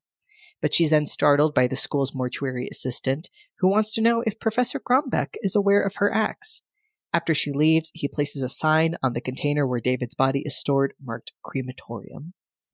And we see also that he's got this like little red book because she asks where Oh. the body came from and the guy's just like just like doesn't tell her anything. And she she kind of has this moment where she's like, "I want to know where this body came from and who his doctor was." And the guy just looks at her. And I gotta say, that is how it feels being a woman. I feel like sometimes, you know, is you're very serious and you're just trying to stand up for yourself, and just people just are like, "Well, go fuck yourself." And unlike the killer in and and this guy also isn't the killer, but I mean, unlike the killer in Slumber Party Massacre, this guy does look oh, scary. Oh, yeah. Like if you ran into him on a sunny day, you know, uh, Intimidating. He's like, well, yeah, Yeah. very scary. Paula explains her worries to Casper, who kisses her to shut her up. I is my least favorite trope. I fucking hate that shit. It's not romantic. I'm just like, oh, okay, great. And then he tells her, you know, you're cute, but you smell like formaldehyde or something. Yeah. Wow, thanks. She just feels like shit. This poor woman. I feel really bad for her.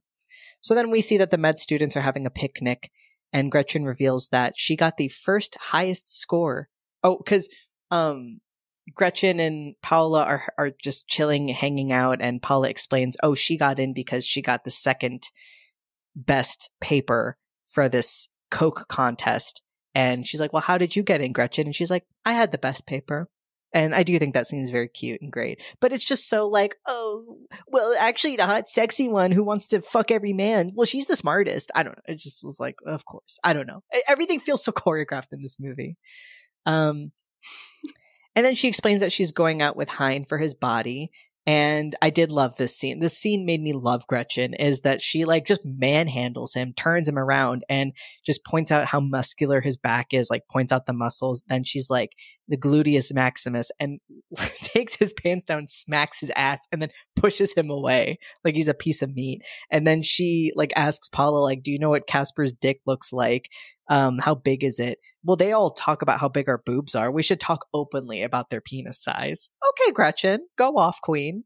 Um, Well, and there was a there was a thing that Casper said in the bar, and I didn't write it down, but when he was talking about how like his his uncle butcher was like you know an expert, and he knows which cuts of meat are the most Mhm. expensive. You know, I think that there are a couple of you know nods back to that idea that like really all we're dealing with is meat Mm. here at the end of the day, and so her basically using him as a piece of meat, I think, is pretty great. yeah, and like her just using him as an example to show off because he's so muscular, Yeah. showing off, and that that would be what she likes in him is just that she Yeah. can see the muscles. She does not care about him as a person. Gretchen's great. And I literally, after that, I wrote down, please, I don't want Gretchen to die. I knew it was a foregone conclusion, but I was like, please, God, if you can hear me, do not kill Gretchen. She's my favorite character now. God from 24 years ago. uh, okay, I'll try, buddy. Paula finds clues pointing to an ancient secret society, the anti Hippocratic Society. Ooh, oh, how crazy. You know, the Hippocratic Oath, we're anti that. Um, they performed gruesome experiments on living people who they deem undesirable. Okay, this is where I get on my soapbox. That's not a society. That just happened and does still happen. I found Mm. out that there are only a few states in America, North Carolina not being one of them, where it is illegal to give a pelvic exam to somebody with a vagina against their will, like when they're knocked out.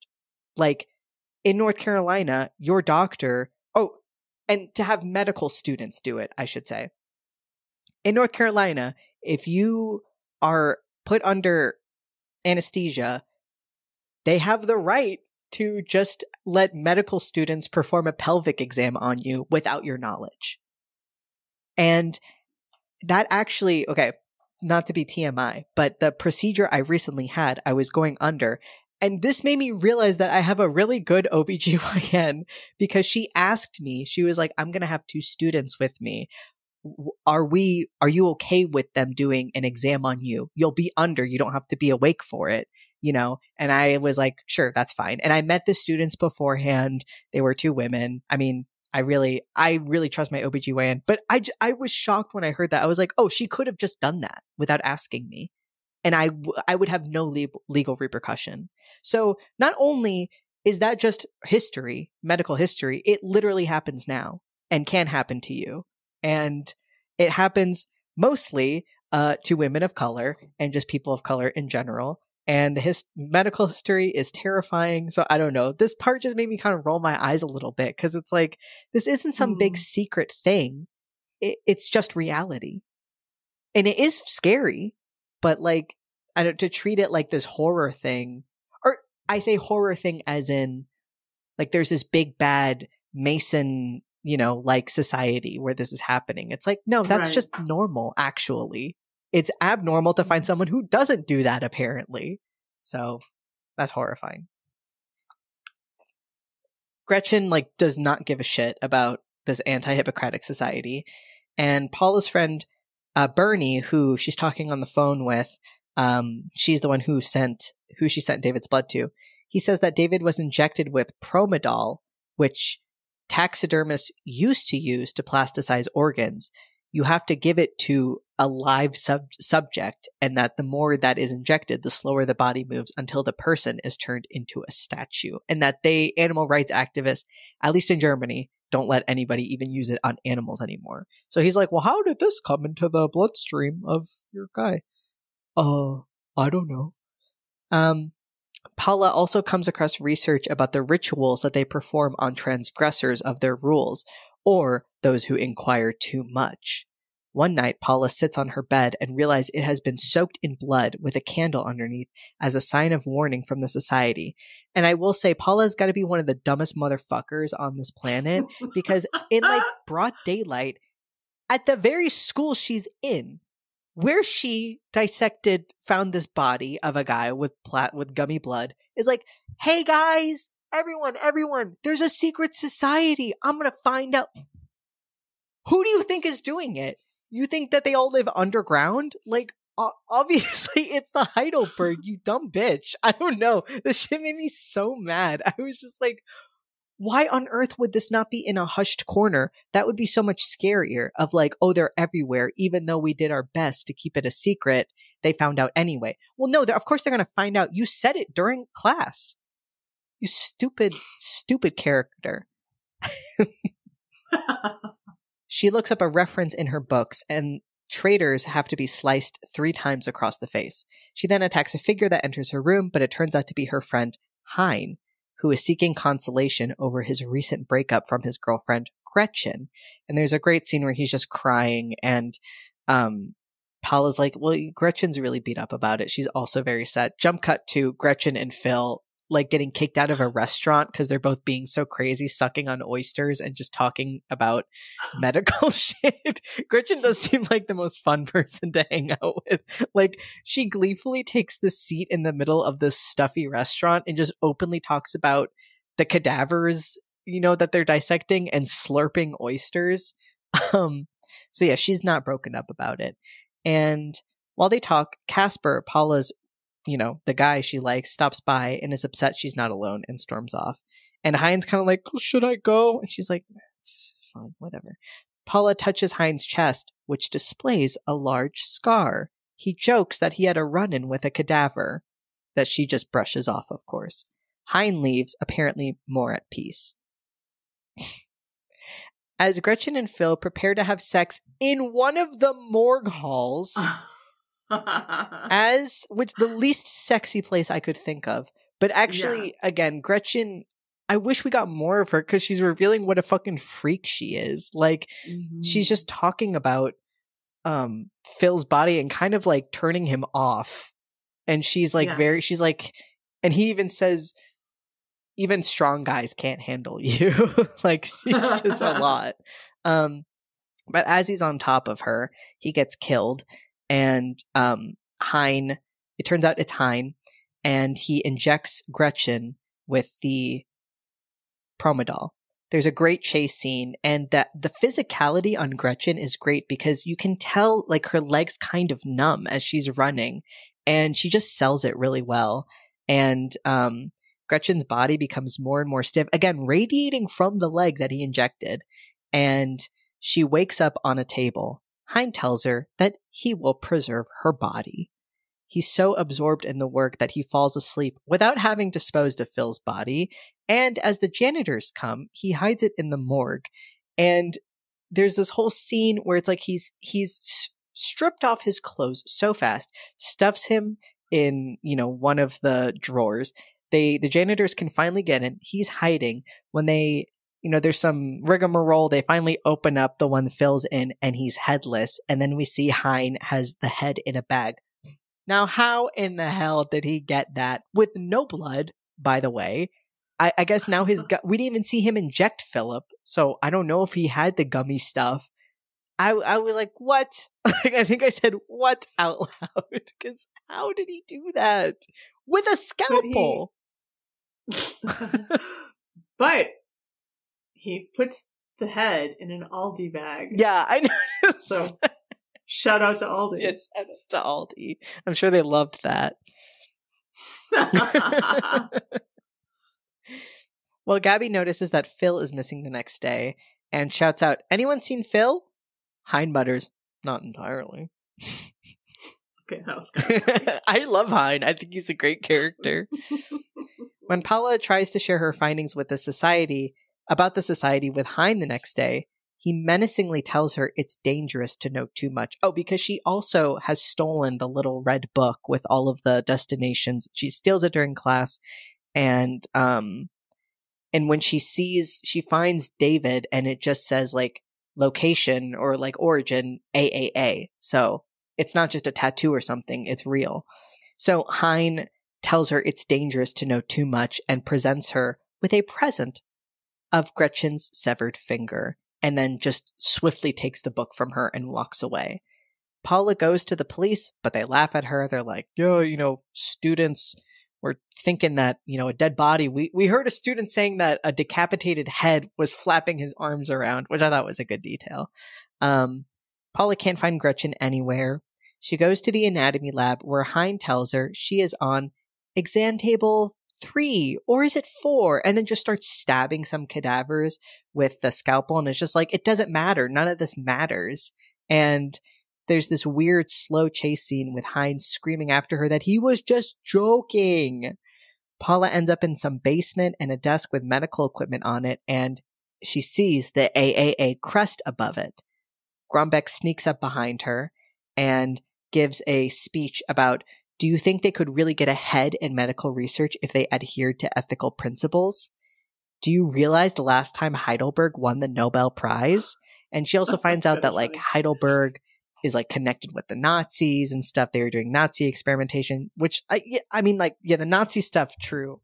But yeah, Grombek basically just gives the same rant I just gave about how all medical, which I mean, this is not all medical, you know, advances were done unethically, but you know, he gives a very, I think, I actually, what a lot of people do think, you know, and. Yeah. Just you know, the problem with that is, you know, it, it's going to end up being the most unfortunate. The people treated the worst in society that this happens to because they're seen as disposable. And, you know, he says like everybody wants a cure, but nobody wants to, you know, be the one to take it. Yeah, no, obviously not. Like nobody wants to be sterilized against their will, you know, or used as practice for people or just I mean they they weren't even always trying to advance medical science. They were just doing weird shit to people. Like I don't know. Um but it is very scary. Grombek reveals that her grandfather was a member and that the drug he became famous for developing was the result of his experiments in Nazi concentration camps. She flees to the hospital to confront her grandfather, but when she gets there, I guess he just died. They're already changing the bed sheets. And I'm like, nobody nobody told her. I don't know. The mom's like, How did you know? uh, yeah. Um, but there's a great scene where she's, you know, with uh her dad and um I, I thought that was that was a genuinely good moment because now we understand why the dad was so against the grandpa. It's because the dad's not mm-hmm. fucked up he didn't want to go this fucked up route. And he's like, you know, you're very good at, he's like, you have more skill than me and you are smarter than me, but you also have a heart, you know, so you're, you're great. And, you know, you're not like your grandfather, like you're not evil like he is.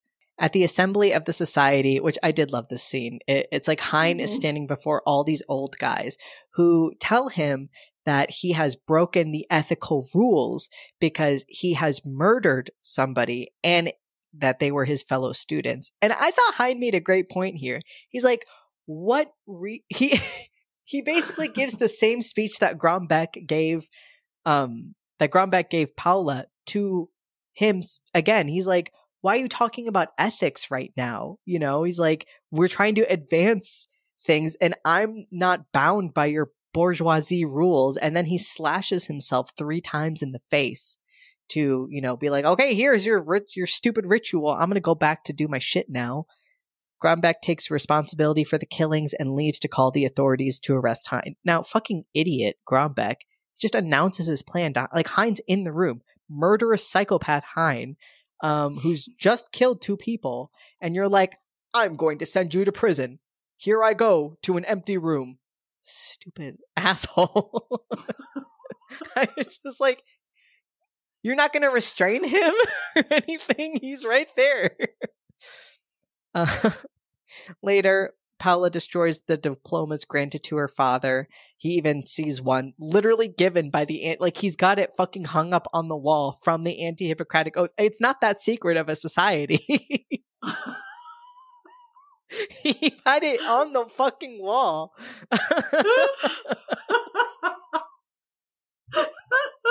I know she's like searching, searching, searching. It's the one that's like damn in the middle of the He's wall. proudest of that one. um, Hein fucking calls Paula. What can Paula do?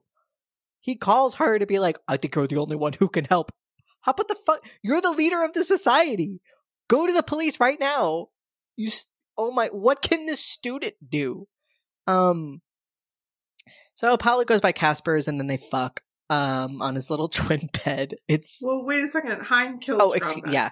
Um, of course, it, it seemed, I mean, yeah, Hein kills yeah, Grombek. we- There's, we called. We called. yeah, it, he was not long for this world.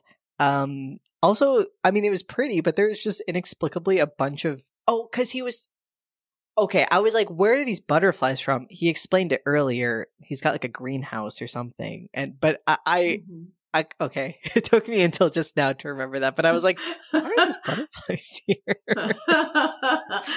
um so yeah paula goes by caspar's they have sex uh, um literally the caption said like smooth pop plays or something like that um everything's cool until she finds promedol in his medicine cabinet then she goes um and just finds a stack full of papers about the the anti-hippocratic society and then knocks caspar out with a journal then she goes back to the anatomy lab in the dark alone and calls out for Professor Grombek.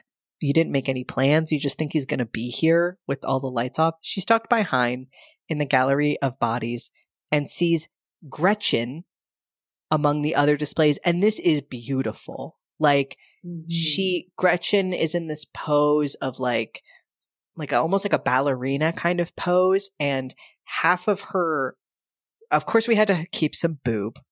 I mean, come on. We're men of taste. Um, so she's got one boob and then the other half of her chest is all like pulled out and dissected. Hein comes up and he's just extolling the virtues of keeping somebody as beautiful as Gretchen young and preserved forever, which I did feel like was pretty good. Like that is the way gross men think. And I thought just this this thing that that they made was amazing because he he just like it's nothing like opens up a chest cavity on her and he's like look at her heart it's perfectly preserved and then pulls her face off it looked amazing anytime they have these statues it's like this should have just been the movie like why did you waste your time with all this stupid shit it's because you can't write and you can only do this cool stuff i guess um so Hein then knocks Paula out. So while Hein and his accomplice, who we don't really know who that is yet, are preparing Paula for preservation, luckily she still has all her clothes on. Um, Caspar then runs in and cuts her binds because he was what? The red herring. He tells her, Remember, I told you I'm not a doctor. I'm actually a historian who's been studying the anti Hippocratic Society. My name's actually Oliver, and that he is roommates with Ludwig, which, okay, at first in my head, I think from the corner of my eye, I saw him because at one point, like Paula's looking for Caspar and we see him in the room and he's like obviously really high. And I think I just saw his hair and I wrote down Timothy Chalamet. But then when I got a good look at this guy, I was like, oh, he does not look like Timothy Chalamet. like, no way. He looks not trying to be rude to this guy, but he looks like he could have been one of the boyfriends in the Slumber Party Massacre.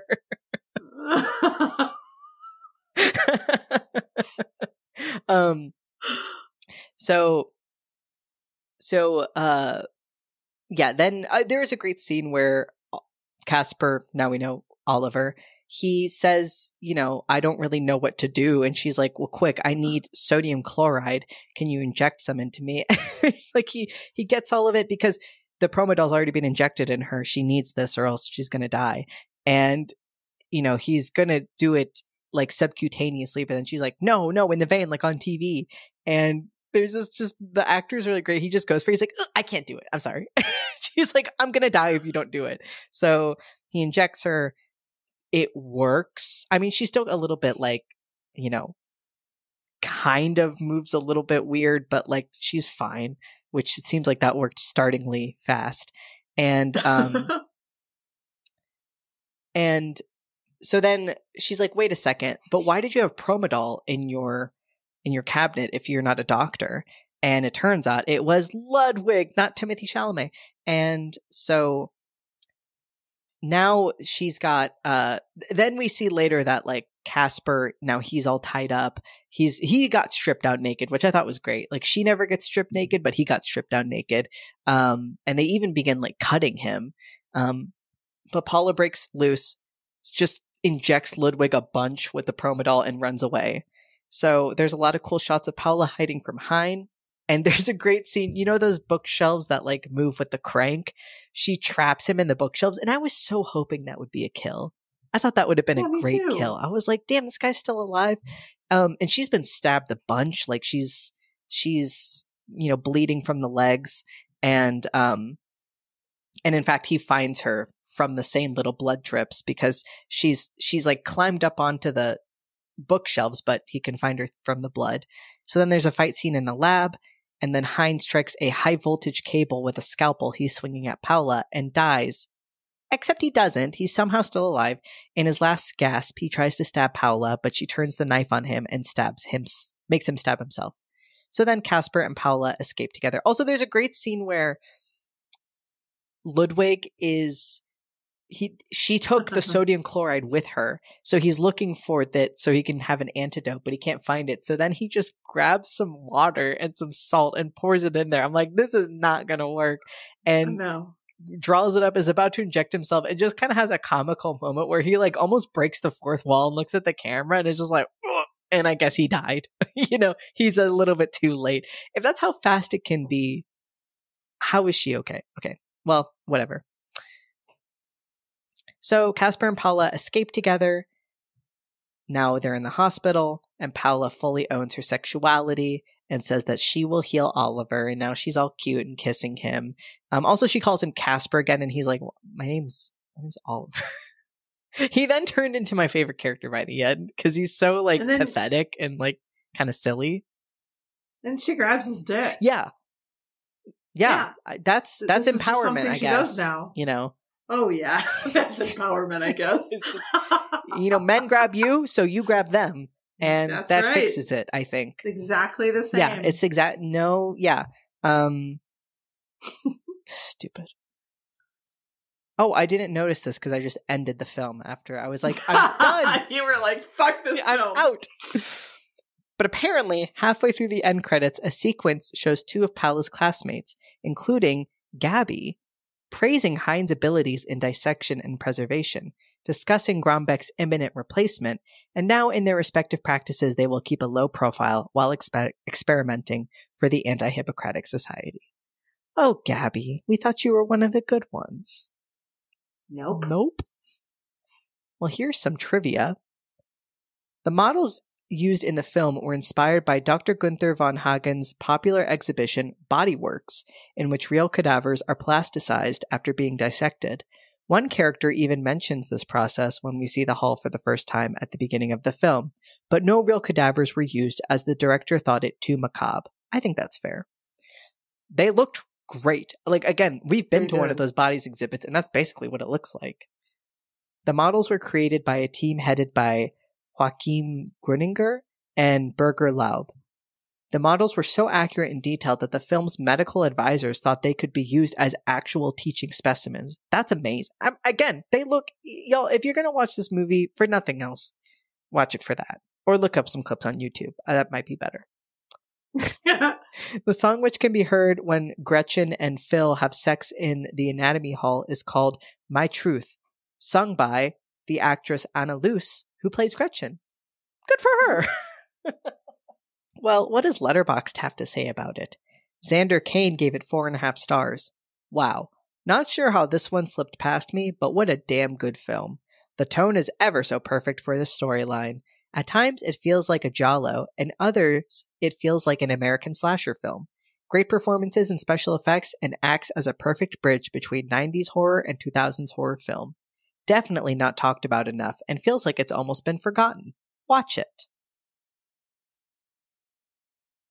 That's a that's a take. Again, I, I'm I'm torn because I think the a lot of this is like there's clearly talented people in here, but you cannot yeah. tell me that this writing is good. Like you can't look me in the face and say we wrote a good screenplay because you didn't. You wrote a bad one, and eh, and what a shame because you had great actors and you had great props, and I don't even hate the storyline. I just hate what you did with it. Mm-hmm. Ronnie Gardocki gave it four stars. Franka Potente uncovers a secret society within medical school, includes displaced Nazi guilt, and multiple boom mics dropping into frame. This is pretty good. the plot keeps you on your toes, and Potente is a lovely screen presence as always. I will push back on that. Never did it keep me on my toes. At all times, I knew exactly what was going to happen next. Camatrejo gave it four stars. A a amazing. Violet gave it one and a half stars. Paula kind of looks like Molly Ringwald. Okay, she does, but why is that the only thing? Like that makes me feel like that's you saying like, and that's why I hate this film. Fuck Molly Ringwald. we See Toe gave it one star. A very basic film. The scenery in Heidelberg or wherever they filmed was beautiful, and so was Franka Potente. The film, on the other hand, was a shit mashup of The Skulls, Scream, Flatliners, and Hostel. Too bad this film wasn't anywhere near as decent as the aforementioned movies. I don't like Hostel. I'm going to say it. it. Felt like Hostel, which is also a bad movie. Don't at me. Kelly Madden gave it one star. Daily Horror Hunt number 57, prompt number 28. Watch a horror movie that shares a language with prompt number 27, Yella from 2007. This shit is completely ridiculous. This plot is so outlandish that it's laughable, but the movie still isn't funny. It's so bad that it's almost uncomfortable to watch. I feel embarrassed for everyone involved. I agree. I even wrote down this is hard to watch. Like, I don't enjoy watching this movie. okay, again, and I don't know, maybe like my endorphins are like elevated or something because of the sunshine. Um, I'm not sure, but I really did not enjoy this the first time. Yeah. And I thought, well, give it to Mac because Mac loves to tear shit apart. And then I watched it today and I was like, I actually kind of like this. And then you were like, can I please take it? so that, I mean, I, I like it more than, than you do for sure. Um, but, um, we get to the questions. Oh, I'll never watch it again. I, I think I, well, what phobia is that? Well, we don't know. Um, I we don't know. Um, don't ask. I won't tell you. It's got to be okay. Hold. Give me a second. I could probably find a phobia for us, like, um, like a medical, like dead dead bodies. Ooh, I yeah. I don't want to see one. I've never dead seen bodies one. phobia, necrophobia the irrational fear of dead organisms, for example, corpses. They really, so. they really, even like a dead bug, honestly, unless it's something as small as an ant, it just freaks me out. It, I don't know. It, I'm not saying that's like quirky or unique, but like I just have a memory of when I was a kid, my first hamster. Um, I did not realize they died so easily. And I went to go just play with him for the day, put my hand under him, he felt stiff, so I jerked my hand back, and the just the dead way he flopped back, just, like I screamed. I was so freaked out, and I'm not saying it was just from that, but like that just illustrates everything I find so scary about a dead body. It's just like it's not right. Yeah. It's wrong. It just shouldn't yeah, be like that. Well, I don't know if it's wrong, but I don't want to be near anything dead if I can help it. I I can't remember where I was. I was in some place and there was a dead bird, and it was like a Oh. I don't I don't even know. So unspecific, but like it was a place a dead bird shouldn't be. Mhm. Like I don't know if it fell out of A like, bag in the fridge. No. It was like in nature, but it was just like I don't Yeah. anyway, I just recently saw a dead bird. It was horrible. Um and yeah, I just never want to see anything dead. No, Ever. really bugs me. what have we learned? Oh, s excuse me. Rating. Let's rate it in scalpels. I'll give it a. I, I, I think that the acting, the physicality, and the effects and the scenery are good enough that I'll give it three scalpels. But yeah. Giant Two taken. It's like only by the grace of those things is this movie watchable and enjoyable. Yeah. I w- I would say 3 too. I mean, I don't I don't I don't like it. Yeah. I mean, I, I mean, it's fine. It's fine, but, um, yeah. I mean,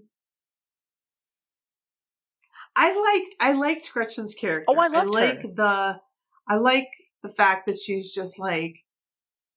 I, I wish she would have lived. I think it would have been like so much better if she would have lived, and stupid Franka would have gone. she's she's killed off instead. like the you know like you always get the madonna and the whore in slashers and she is killed off kind of carelessly like that even though i feel like her Mhm. character at that point had been built up enough to where she didn't deserve that you know to be slain Yeah, she in such a way I I mean, I mean the the the chase scene is really really amazing. Like I would be, I would like to know was she a dancer? Like I don't know this person at all, but that physicality of that scene was really great, and obviously she's a good singer, and sexy but her character is very sexy, and her character, um, she's the smartest one. So I just don't get why.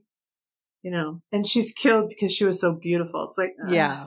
I just wish it would have been, and or if that could have been made something of, you know, because he's he's she's kind of like, oh, by the way, she's a genius, right. You It- know, it's almost there to just be like I, I don't know. It felt so like of course she is you know?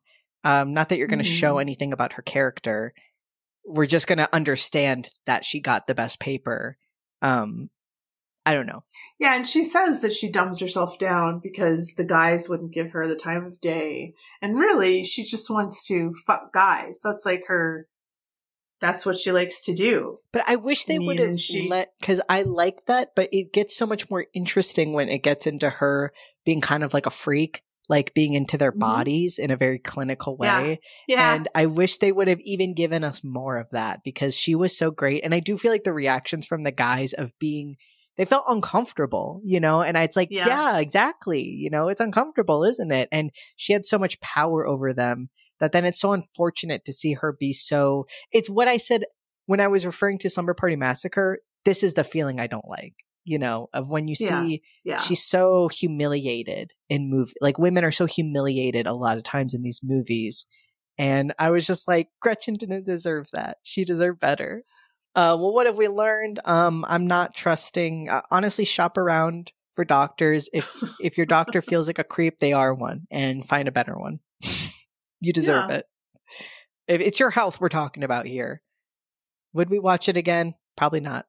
No, yeah. Favorite scene and or death? We've talked about it. Mhm.